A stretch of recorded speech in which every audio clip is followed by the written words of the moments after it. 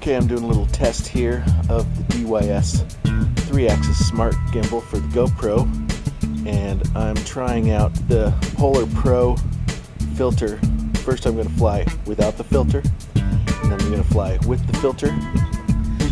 Okay, now I've got the filter on, doing the same thing. About 3.50 in the afternoon. A little windy. Starting, Starting off in GPS. GPS mode.